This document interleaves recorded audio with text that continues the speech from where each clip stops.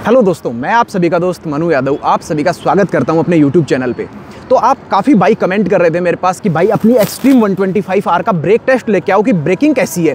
क्योंकि आप सभी लोगों को पता है कि बाइक के अंदर भाई एबीएस दिया गया है, जो कि इस सेगमेंट में भाई दूसरी बाइक्स में नहीं आता है। तो क्या एबीएस एक्चुअल में बढ़िया तरीके से काम करता है? ब्रेकिंग में कितना स्टेबल रह पाती है बाइक कितना ज़्यादा अच्छे तरीके से रुक पाती है? कितनी दूरी के अंदर रुक पाती है?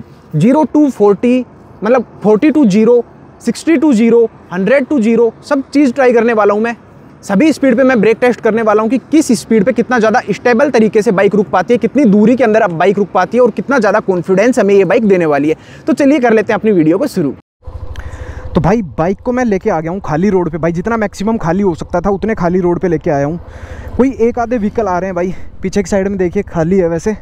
कोई एक आध व्हीकल आ रहे हैं, लेकिन मैं रियर व्यू में देख रियर व्यू मिरर में देख के ही भाई ब्रेक वगैरह टेस्ट करने वाला हूँ। तो एक बार तो भाई शुरू में 40 की स्पीड पे मैं एक बार ब्रेक यूज़ करके देख लेता हूँ। बिल्कुल हार्डली यूज़ करूँगा भाई। जितना मैक्सिमम हो पाएगा, उतना हार्ड तरीके से मैं यूज़ करने वाला हूँ ब्रेक तो भाई अभी लगभग 40 की स्पीड पे बाइक हमारी चल रही है। पीछे से कुछ भी नहीं आ रहा है। और भाई ब्रेक यूज़ किया है मैंने।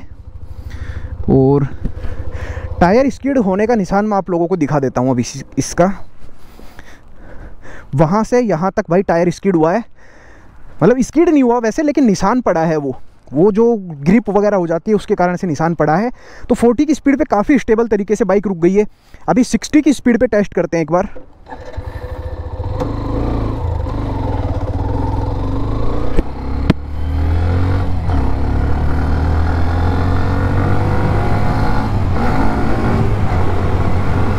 भाई, अभी लगभग 60 की स्पीड पे बाइक हमारी चल रही है।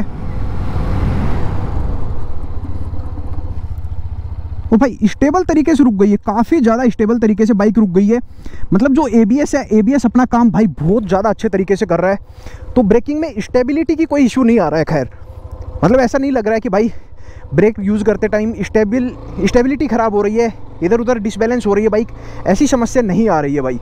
अभी मैं थोड़ा सा आगे चल के एक बार यूटर्न ले लेता हूँ एंड हंड्रेड की स्पीड पे वापस से टेस्ट करेंगे भाई। कि हंड्रेड की स्पीड पे बाइक कितना स्टेबल तरीके से रुक पाएगी। फोर्टी हो गया सिक्सटी हो गया एटी और कर लेते हैं एक बार। एटी करेंगे, फिर हंड्रेड करेंगे। एक बार यहाँ से यूटर्न ले लेता हूँ। पीछे से भाई कुछ भी नहीं आ रहा है।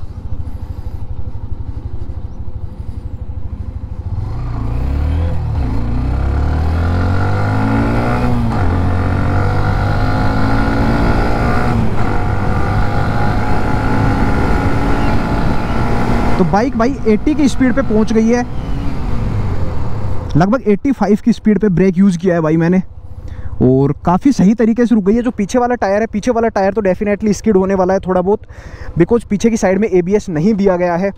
तो पीछे वाले टायर के स्किड होने की तो भाई देखो, समस्या नहीं बोल सकते हम। नॉर्मल ड्रम ब्रेक के अंदर भाई थोड़ा बहुत तो स्पीड होगा, अगर इतनी हाई स्पीड पे अपन ब्रेक यूज़ करेंगे तो।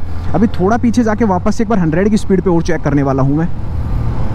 क्योंकि हंड्रेड की स्पीड पर यार ब्रेक यूज़ करना थोड़ा सा रिस्की हो जाता है तो गैप उसके अंदर होना चाहिए। बिकॉज़ 125 सीसी बाइक है तो ये लगभग इसके मैक्स पे पहुँच जाती है हंड्रेड पे।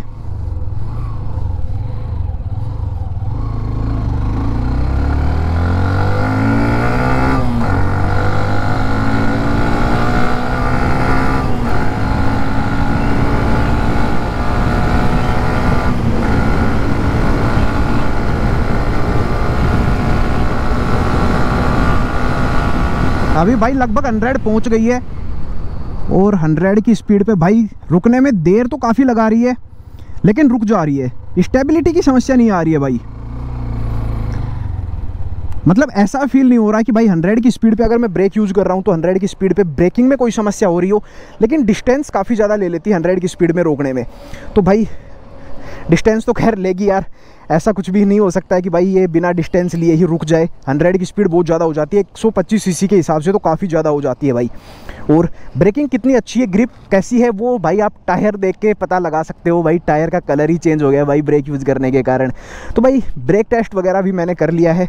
कोई और डिमांड हो तो कोई और डिमांड बताओ भाई, वो चीज़ भी मैं आप लोगों के लिए ज़रूर लेके आऊँगा। लेकिन भाई चैनल को सब्सक्राइब करना बिल्कुल मत भूला करो और वीडियो पसंद आए तो वीडियो को लाइक भी कर देना। चलिए मिलते हैं अगली वीडियो में, तब तक के लिए bye bye tata take care